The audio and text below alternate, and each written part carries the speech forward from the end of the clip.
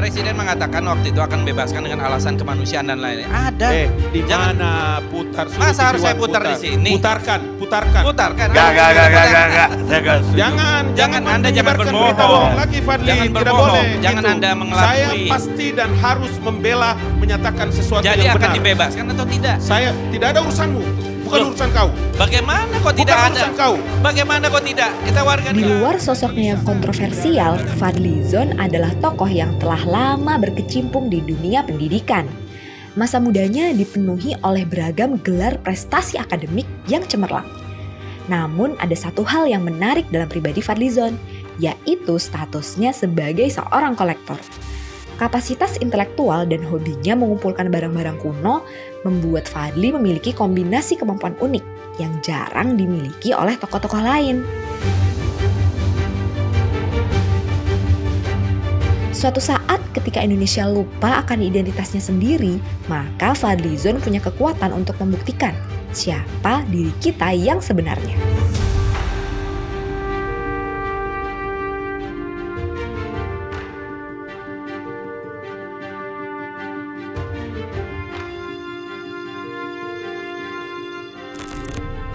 Sobat Stalker, aku hari ini mau ngajak kamu ke tempat politisi yang bernama Fadlizon. Wah, kenapa Fadlizon? Mau dibongkar mengenai kehidupan politiknya? Tentu tidak. aku pengen bongkar Fadlizon Library. Pengen tahu aja di dalamnya tuh ada apa aja. Ada benda-benda bersejarah dari tahun berapa aja. Gimana cara ngedapetinnya? Berapa harganya? Ya, itu yang mau kita tahu dan lokasinya tuh nggak jauh-jauh, dekat-dekat sini aja. Nah, aku sekarang udah sampai. Oke, kalau kamu mau tahu apa aja isinya, tonton terus sampai akhir. Ya, ini kalau di zaman-zaman covid gini nih, aku harus pasang dulu.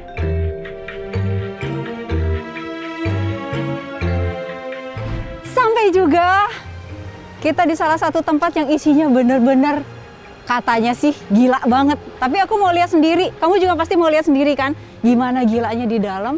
Ini udah sampai di kawasan Ben Hill di Jalan Danau Limboto. lihat deh, lihat deh. Lihat. Baru datang aja aku udah kaget. Ini Pak, selamat pagi. Aku masih mau lihat dulu ini. Wow, ini wow banget. Pak Soekarno, M. Hatta, Sudirman.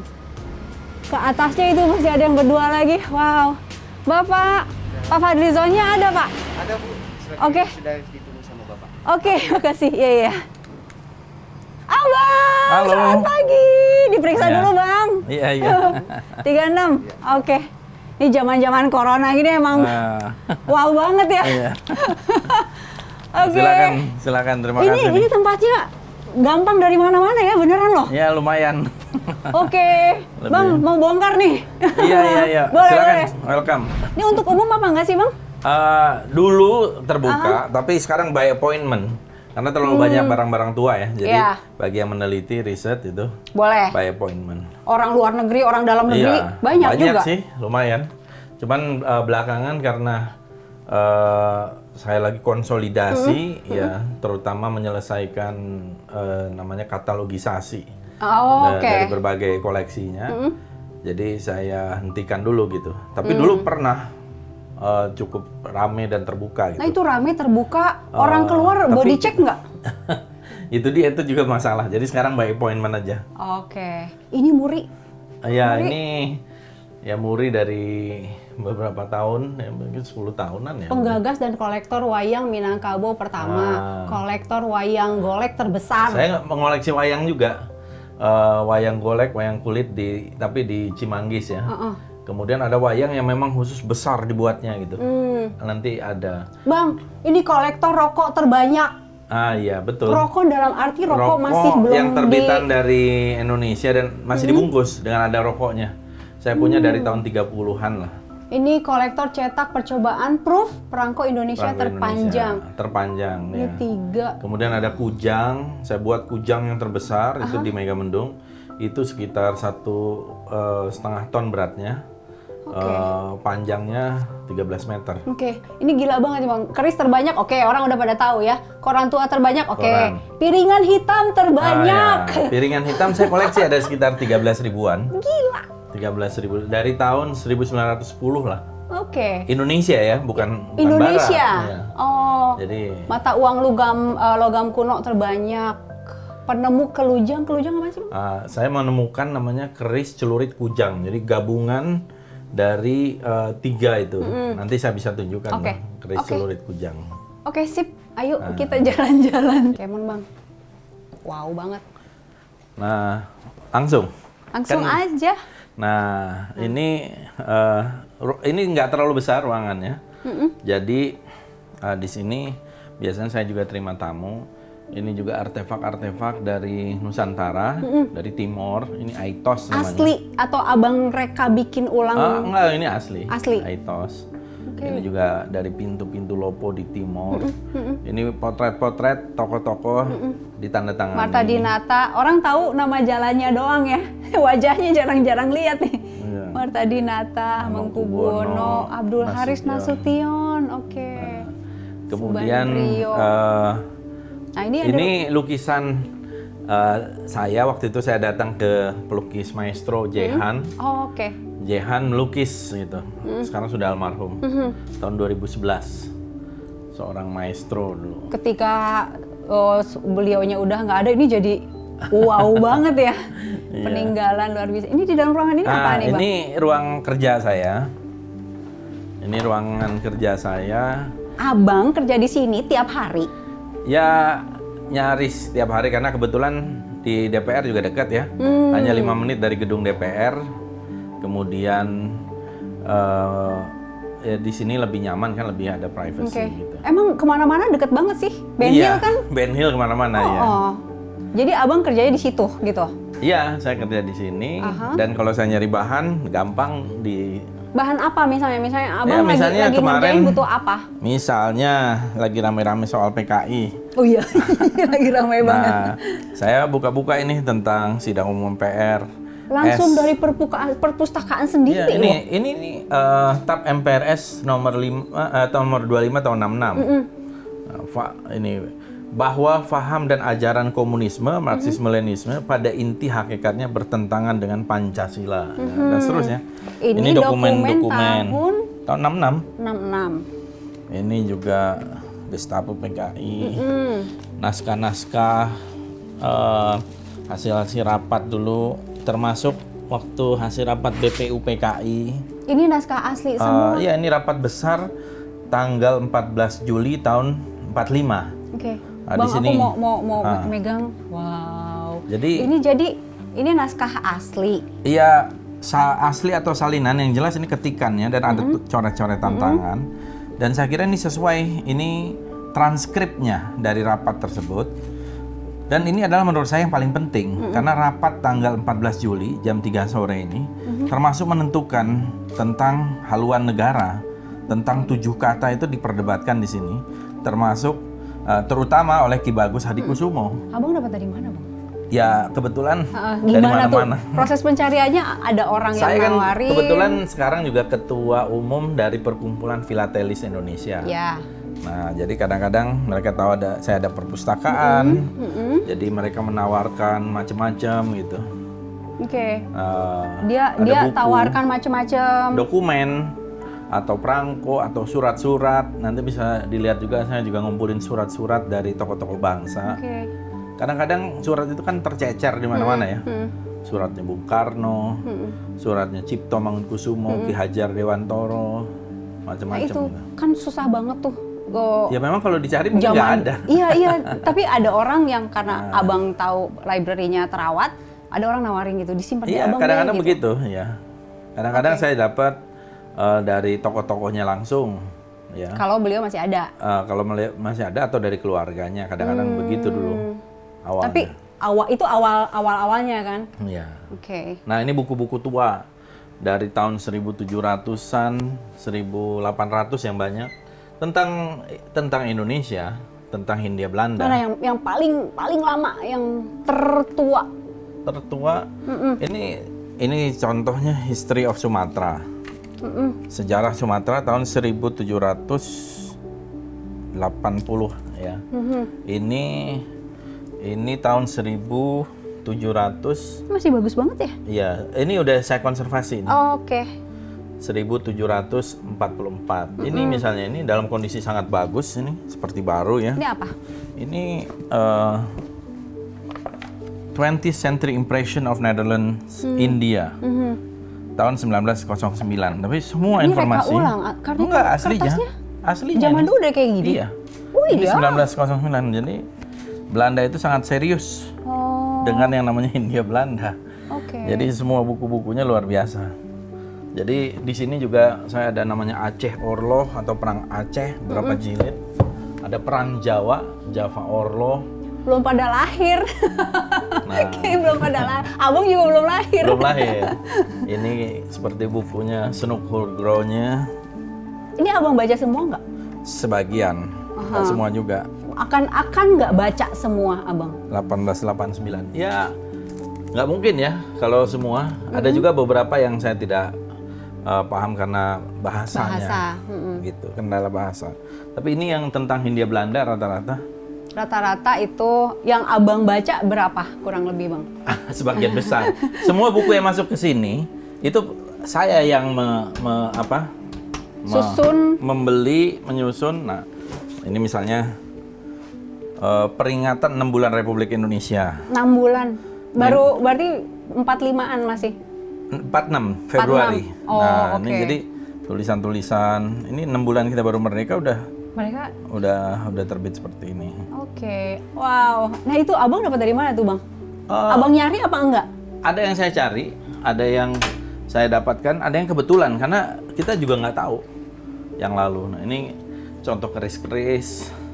Keris yang di sini Hah? sama keris yang di ruangan. Aku kan pernah Eh, lihat tuh ini di lebih istimewa ini. istimewanya apa? ya, yang saya sukai. Contoh yang mana? Ah, contoh. Yang yang paling Misalnya disayang ya, gitu ya? Ini contoh. Eh, ini yang saya taruh di sini beberapa yang saya sukai sih. Ini Ah, misalnya, ini eh, ini Nogo Siluman. Mhm. Ini keris era Mataram. Nah, ini Bukan reka ini kan ulang ya bikinnya asli bukan, asli. ya. Ini Itu seperti kepala naga.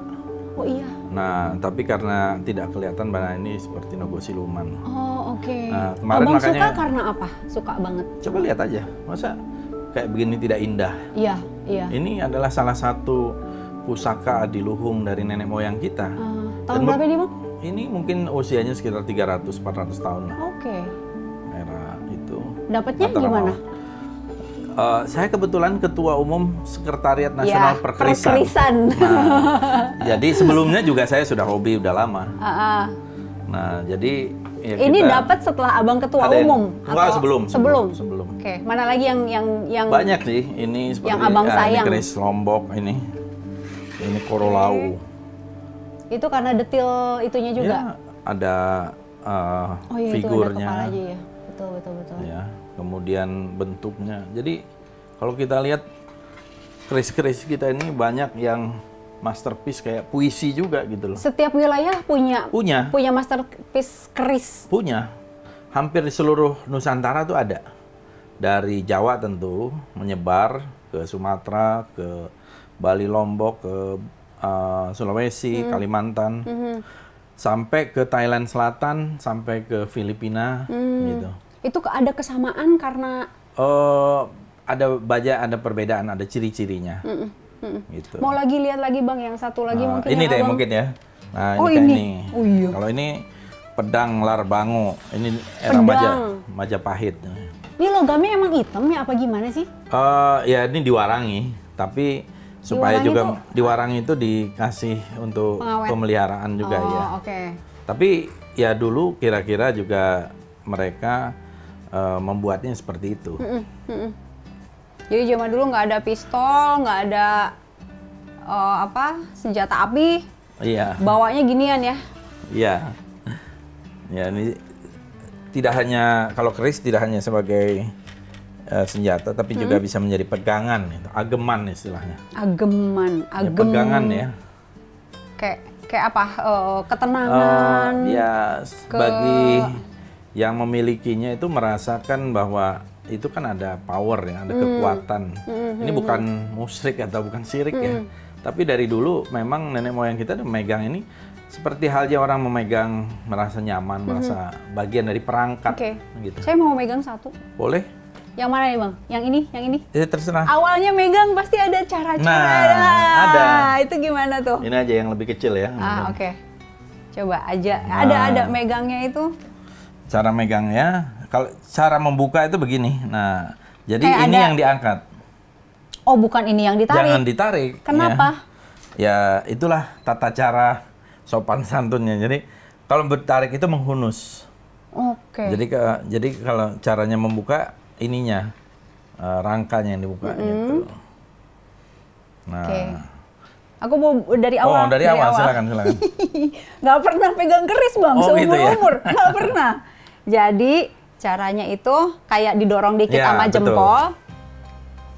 Eh, dorong dikit sama jempol, dikit aja susah. Ah, terus ini ya tangan kanan Nah. diam yang naik yang ini. Iya, betul. Oh gitu.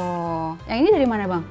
Ini eh, dari wilayah Nusa Tenggara ya. Tapi Hmm. mu- kemungkinan ini juga ada pengaruh dari Bugis dari beberapa wilayah lain. Keris itu rata-rata, nih masukinnya? Ya, Masukinnya sama ini dia dianya yang turun. Iya. Nah, rata-rata keris itu kayak kayak nggak ada yang lurus nih, kayak belok-belok Ah, gitu. iya, itu ada. ada dua jenis. Ada keris yang namanya lurus, ada keris yang eh, meng- eh, dengan look nanya. Look itu yang back yang bengkok-bengkok tuh look. Mm-mm, itu ada Nah. fungsinya masing-masing nggak? Eh, ada. Ya sebenarnya keindahan juga. Nah ini look ya satu dua tiga empat lima Oke, enam tujuh. Lekukan Nah, gitu lekukan. ya. Uh-uh. Oke. Gitu. Oke. Keris ada berapa bang total? Seribu lebih? Ya Seribu. kira-kira saya juga nggak belum. Mau belum dihitung hitung. nggak? Hitung yuk. Oke Tapi kita ke ruangan lagi rata-rata saya kasih keterangan katalog dan lain-lain. Nah ini ini lukisan dari karyanya Misbah Tamrin. Abang pesen apa memang? Saya pesen ini. Oh, Oke. Eh, dan waktu itu dipamerkan di Galeri Nasional. Dari 11 fotonya eh, Franz Alex Mendur itu eh, pada waktu peristiwa proklamasi kan cuma ada 11 Mm-hmm. fotonya. Kalau tidak ada fotonya eh, Alex dan Franz Mendur, kemungkinan kita tidak ada bukti bahwa proklamasi itu pernah ada. Oke. Nah, kemudian dari foto-foto itu saya minta untuk digabung menjadi sebuah satu lukisan. Nah, ini jadinya. Kurang lebih begini ya. Iya. Oke. Oke. Kita ke mana lagi bang? Di belakang? Di Kita- belakang ada apaan? Itu. Hah? Di situ. Oh, di situ ada musola, ini pamflet-pamflet. Nah ini bang, ini banyak eh, dari Oh, ini eh, Mas Idris Ardi. Ini piala-piala citranya Maestro. kenapa di abang? Eh, kebetulan Pak Idris Ardi waktu itu eh, mengajarnya di sini di lantai tiga. Dan Gedung saya ini? deket, iya. Dan saya deket sama Mas Idris Ardi, almarhum. Dan saya menulis buku beliau tahun 2012, tahun 2011 sebenarnya. Jadi saya interview panjang. Terus satu hari beliau bawa ini, eh, beliau memberikan begitu aja ke saya. Eh, saya bilang oke saya jaga ini titipan. Enggak enggak ini bukan saya titip, ini saya kasih. Wow. Jadi waktu itu Ini semuanya piala Diberikan. citra, piala citra. ya, tata Idris musik Hardi itu menyabet semua piala citra Untuk musik ya? FFI untuk ilustrasi musik film. Wow. Dan ini bio- biola kesayangan atau gimana? Iya, ini biola salah satu yang selalu beliau pakai. Ada tulisannya dibeli di Los Angeles tahun 85. Ya, sebelumnya satu lagi ada di saya juga Hmm. biolanya yang lain. Oke. Ini karya-karyanya. Ya ya ya ya ya. Oke, Iya. kita ke mana bang? Ke atas kali ya. Yuk, abang dulu. Oke. Abang dulu aja. Atau mau Saya sambil duluan? jalan? Ah, sambil iya. jalan. Oke, sambil. Ya ini eh, kan karena perpustakaan jadi eh, Oh, semua istilahnya peristiwa sejarah. perpustakaan ya, bukan museum ya? Perpustakaan, Perpustakaan. library kan. Library, oke. Saya nggak mau nyebutnya museum. Kenapa? Ya lebih enak library, lebih hidup. Oke. Karena kalau museum itu seperti display yang sudah final dan berakhir. Kalau library itu tempat belajar ya. Oke. Gitu. Ini pada waktu eh, Perang Dunia Kedua, gitu. Ini abang eh, sengaja beli atau gimana nih bang? Iya, ketemu. Di di mana? Saya suka sejarah. Ada di beberapa negara di Eropa Timur. Jadi abang eh, ketika berangkat ke sana abang cari gitu. Iya. Eh, saya suka ke tempat-tempat eh, antik atau yang eh, ada barang-barang bersejarah. Nah ini lukisan bersejarah. Oh ini Pak ini Harto. karena lukisan bulu oleh Bulu? Tom Hari ya, Oh iya. eh, tahun 68. Hmm. Abang pesan, bukan pesan ya? Oh enggak, enggak saya dapat. Ini Dapat. lukisannya Heng Antung Mhm. yang dulu pernah jadi eh, gubernur di Jakarta juga Oke. dan dekat dengan Bung Karno. Oh. Nah ini eh, apa? Tulisannya kok staff room, Bang? Iya sebenarnya library juga. Karena ini tempat eh, librarian Oh, Oke. dan untuk ngedit. Ini semua buku tentang Hindia Belanda. Jadi tentang Indonesia di zaman dulu lah. Nih, Bang. 581 9598 NUTI. Ini maksudnya apa Oh, tuh? ini standar dari katalogisasi Aha. perpustakaan. Mm-mm. Nah, mereka yang lebih ahli lah. Jadi mereka ada klasifikasinya. Oh, mereka jadi Abang tuh kayak minta orang untuk Iya, saya ada librarian yang sekarang Oh. kebetulan sedang di Cimanggis di perpustakaan saya yang satu lagi. berapa orang Abang Dulu awal-awal enam orang. librarian? Karena eh, saya ada sekitar 35.000 ribu buku di sini. Iya. Itu memakan waktu cukup lama gitu, bertahun-tahun. Hmm. Nah, sekarang koleksinya nambah, jadi total buku saya sekitar 60 ribuan lah. Mm-mm, mm-mm. Gitu. Di, Aku kira abang yang bikin kategorisasi Enggak. gitu. harus ada ahlinya, Harus ada ahlinya. pustakawan. Jadi abang kalau nyari buku tinggal search uh, di, Iya, komputer, di komputer. cari. Di komputer kan lokasinya di mana. Heeh. Nah, nanti ketahuan eh, jadi gampang seperti di perpustakaan Oke. biasa. Kayak lagi rame PKI, cari pe- ada di Ah, mana gitu. ya. Oke. Kalau nggak kita nggak tahu di mana bukunya. Iya, iya. Lama Nah, nyarinya. ini contoh nih empat jilid nih priangan. Buku Priangan. Buku tentang priangan oleh Dehan. Oh, apa tuh bang? Isinya tuh bang? Iya, semua segala Priangan mah darah saya tuh. Makanya nah. Ini tahun 1911. Heeh. Jadi bayangkan eh, Hindia Belanda itu mereka berkuasa tuh serius. Serius Jadi- dalam arti, Ya, kalau kita menyebutnya menjajah ya. hmm, Ya, kalau menurut saya sih Indonesia nggak pernah dijajah. Sejak kapan Indonesia dijajah? Jadi jadi apa Indonesia kan istilahnya? baru merdeka tahun 45. 45.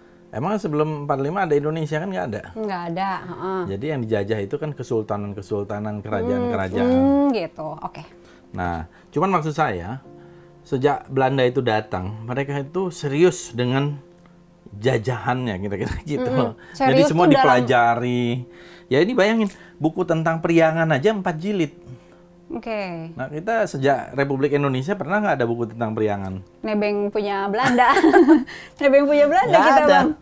Semua istana saja masih istana buatan Belanda. Iya. Istana Bogor, Istana Iya. Merdeka, Tampak Siring, Cipandas, semuanya kan buatan Belanda. Ya kan? Oke. Belum ada istana yang buatan kita sendiri. Belum ya? ada. Iya juga. Nah, ini eh, koran pertama ini aslinya. Koran pertama yang menyiarkan proklamasi. Koran pertama yang menyiarkan proklamasi Suara Asia. Suara Asia. Tapi kan proklamasi itu terbit apa diproklamasikan hari Jumat ya. Dan ini menyatakan kemerdekaan Indonesia hal-hal yang oke. Ini abang dapat dari mana, bang? Ada. Iya, Saya iya, maksudnya saya mengumpulkan eh, koran-koran itu ribuan saya punya dari tahun 1800-an. Mm. Jadi saya hobi juga salah satu koleksi adalah koran-koran kuno. Nah, ini medali-medali kenil Belanda. Mm. Ini eh, Che Guevara, ini Ya. waktu saya pas ke Kuba ketika pemakaman Fidel Castro. Oh, abang Ini- datang ke pemakaman Fidel Iya. Castro. Ini waktu saya ketemu Donald Trump ditandatangani Weh. time-nya. Oke, langsung minta tuh bang. Langsung. Tapi zamannya belum jadi presiden dong. Iya, 2015. Nah, ini juga koleksi. Ini ruang-ruang kerja. Wow, Eh, wow banget ini, wow banget. Sumpah, gila, gila ya abang, abang gila banget menurut aku sih. nah, ini koleksi Eh, mesin tik, mesin tik. Sini, sini, sini, sini. Nah, ini mesin tiknya Daud Yusuf, Harmoko, Oh, Pak Taufik Harmoko. Ismail, Ahmad Tohari nih yang Iya. Ah, ini Dengan da- mesin buat Fadlizon. dengan mesin tik ini saya tulis karya-karya sastra saya. Hmm, dari, tapi ini ngasihnya 2018. 18 saya datengin. Ini kalau Pak Daud Yusuf lebih lama. Pak Daud Yusuf udah di, di atas. Ah. Pak Harmoko itu Pak penting Harmoko banget. saya datengin Pak Harmoko. Ya saya minta. ampun. Termasuk kopiahnya tuh. Ah Saya bilang, mana "Minta dong Pak, Bang. Pecinya. Pak Harmoko Nah, yang kalau pecinya. konferensi pers dulu Nah ini ditunggu sama masyarakat Indonesia. Saya waktu itu mintanya, saya minta dong pecinya waktu tahun 98. Aduh ya ampun. Tapi masih bisa digunakan apa enggak? Oh, kalau yang ini sebagian bisa, Mm, sebagian lagi harus diservis. Oke. Ada niatan buat servis nggak bang? Enggak lah. Enggak ya? Apa kali. adanya aja. Ya kali mau mau Apa dibikin dibikin apa? Supaya berfungsi gitu. Iya. Oke. Nah,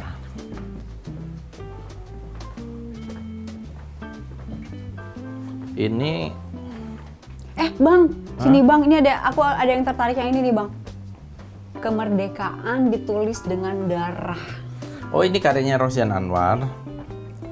Ini dari buku yang Merdeka tadi, yang enam bulan peringatan Oh, ya. itu. Aha. Nah, kemudian saya angkat ini, kemudian saya ketemu Pak Rosian Anwar, saya mintain tanda tangan aslinya. Hmm, Ini adalah peristiwa Lengkong. iya. Nah, di sini waktu itu pamannya Pak Prabowo meninggal nih dua orang, Subianto dan Suyono Mhm. di Tangerang, dan juga anaknya Haji Agus Salim. Oke. Bener ya, ditulis dengan darah tuh bener ya bang ya? Iya. Oke. Ini koleksi herbarium misalnya nih. Herbarium adalah yang Bunga- dari daun-daun daun-daun yang dikeringkan. Daun dikering. Abang maksudnya mau lihat satu aja mungkin atau Boleh, yang boleh. yang mana yang kata abang paling Oh, ya ini. ini maksudnya abang Ini- mana daun nih daun ini kering. daun, eh, ini tahun 1881. Oh, kirain abang cari sendiri bikin Enggak, sendiri. saya dulu bikin, tapi kan nggak setua ini. Hmm, Saya hobi juga herbarium, Oke. plantation, Oke. gitu. Sampai segini. Ini ada berapa nih? Nah ini naskah-naskah koran, ini koran-koran tua. Oke. Ini selompret Melayu tahun Selompret tuh terompet. trompet tahun 1862. Mm-mm. Ini udah pakai masa Melayu rendah. Ya kertasnya masih bagus banget. Di... Ini kalau yang seperti ini sudah dikonservasi. konservasi. Nah ini asli. Oh. Ini 1904. Kan Saya banyak sekali eh, koran-koran tua begini. Mm-mm. Ini Hindia Baru. Dulu koran se- segede gini ya? Ya kan sama kan maksudnya. Iya iya. Rebo 1 Juni 1925. Rebo. Ini sama dengan ulang tahun saya 1 Juni. Oh iya, Yeay, baru ulang tahun dong kemarin. Ini kemarin kalau- ulang tahun keberapa bang? Satu Juni kemarin. Tinggal Google aja.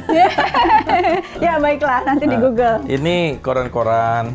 Ini semua koran-koran di sini.